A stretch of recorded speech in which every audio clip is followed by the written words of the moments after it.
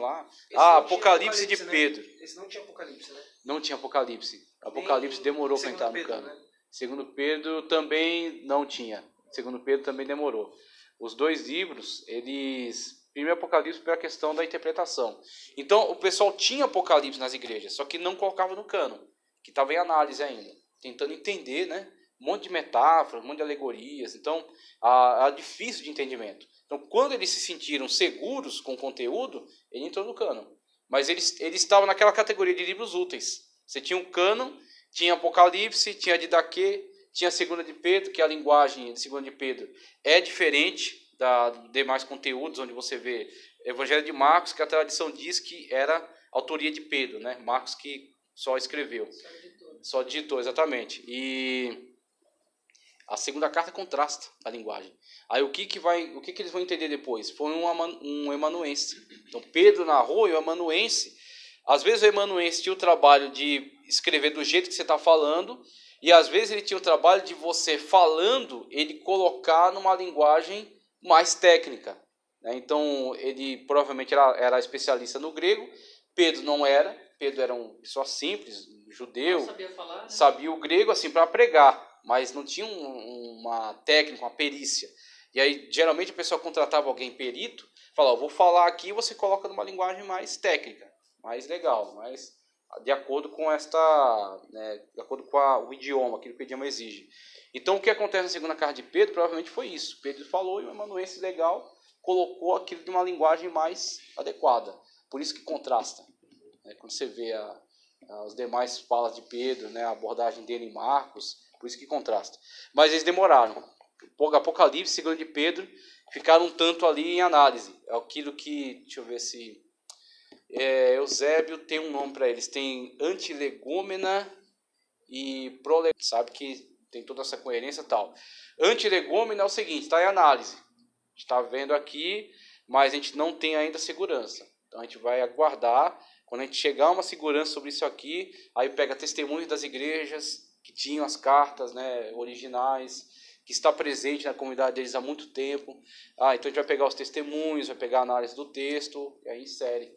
Então tem essa os textos que entraram rápido, os textos que demoraram um pouco mais. Se você for pegar Novo Testamento, a primeira formação, por onde que o cano do Novo Testamento começou? Começou pelas cartas de Paulo. Foi o primeiro cano do Novo Testamento. Vamos dizer, o Novo Testamento, no primeiro momento, tinha 13 livros, que eram as 13 cartas de Paulo, que foi a primeira coleção.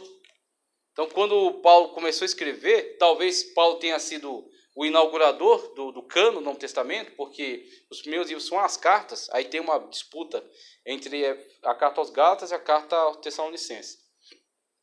Eu acredito que tenha sido a carta aos Gálatas, a primeira, fruto da primeira viagem missionária dele. E quando ele escreve a primeira, dali para frente, o ministério missionário dele, intenso, ele não tem como ficar, permanecer muito nas igrejas, então necessariamente ele passa por aquela igreja, saindo de lá e escreve uma carta para tentar orientar em relação a algumas coisas né, que vão surgindo. E Romanos, que é outra situação, ele conhece a igreja de Romanos, não pôde ir lá ainda, escreve uma carta já para antecipar. E graças a Deus que foi assim, porque ali a carta não aborda questões pessoais, a questão teológica do começo ao fim. Maravilhosa, carta aos Romanos. Mas provavelmente se formou pelas cartas. Das cartas vêm os evangelhos, que aí foi onde os apóstolos estão pregando e os discípulos estão coletando a pregação deles e registrando para que possa, quando eles partirem para o Senhor, ter ali um conteúdo né, canônico, um cano, veja, uma vara, uma medida. Se alguém aparecer aqui pregando uma coisa diferente, a gente tem a medida, a gente vai comparar. Não, isso aqui não está de acordo com Mateus, isso aqui não está de acordo com João. Quando o cara está vivo, é só você chegar nele. Ô João, o que, que você acha desse ensino aqui? Fala, isso aqui é picaretagem, rapaz. Dá um tapa na orelha dele e manda embora. Agora, quando ele partir para o Senhor, não tinha mensagem do Tinha WhatsApp. Chico Xavier, né? É, não tinha Chico Xavier. Chico Xavier não tinha, não tinha espaço dentro da igreja, não. Já tinha um Chico Xavier circulando por aí, mas não tinha espaço na igreja. Então tinha que ter o livro para fazer né, a análise daquela, aquilo que está sendo pregado. Então, basicamente é isso. O cânon, estudo acerca da formação. Crítica textual agora, veja só. A página, qual a página para ele? É que a minha é diferente. Seis. É seis, né? Seis aí, Vinícius.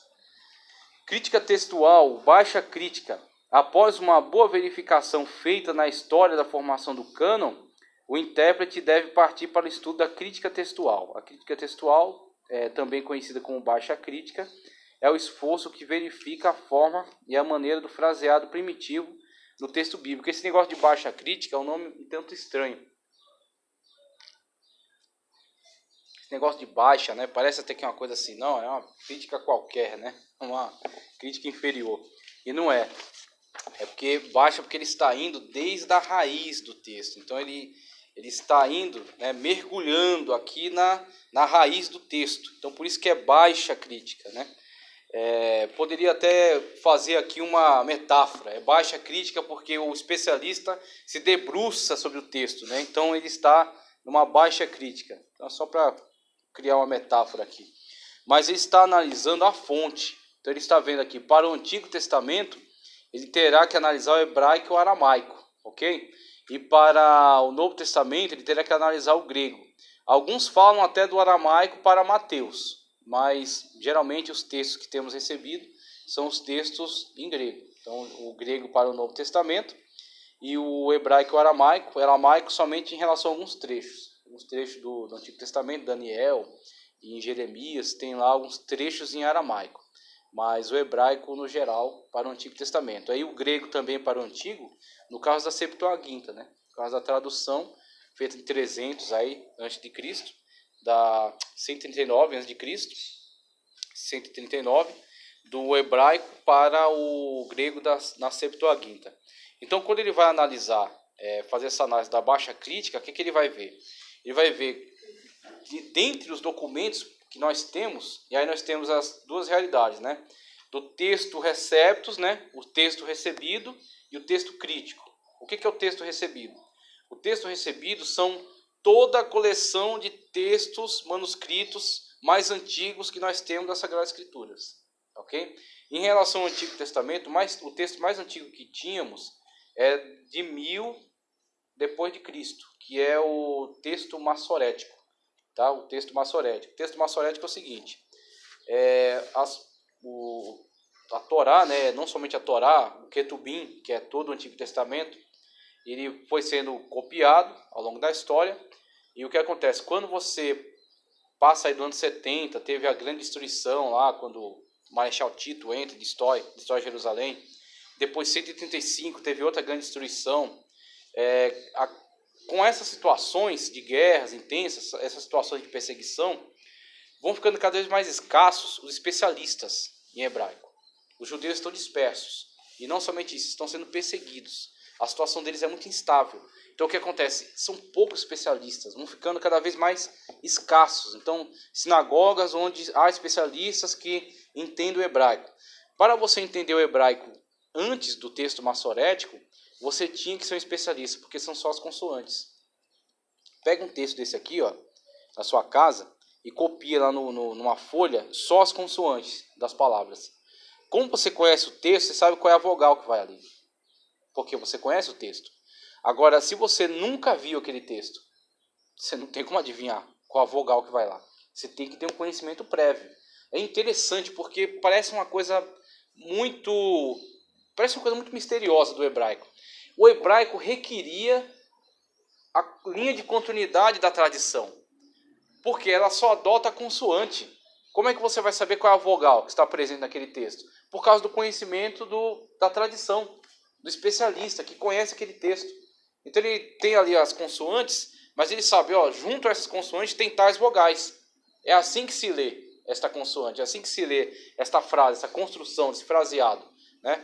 E é o que acontece, quando chega no ano 1000, devido a muita dificuldade, devido a todo o problema que havia de perseguições, é, esta família que habitava ali na, na Palestina, né, dos maçoretas, eles resolveram criar um sistema para facilitar o entendimento do texto hebraico, mesmo quando não houvesse a figura do especialista. Eles criaram as vogais. As vogais são os sinais diacríticos. Então, eu, eu, pena que eu não trouxe aqui um hebraico, não trouxe um texto em hebraico, mas... Então, os maçoretas é uma família é, que uma... estudou os textos antigos que estavam meio perdidos. Conhecia, conhecia toda a tradição, conhecia os especialistas, conhecia o texto, né? A forma como devia se ler aquele texto. Então, eles, tendo essa consciência de que isso está cada vez mais escasso, eles se empenharam num trabalho colossal de pegar todo o texto do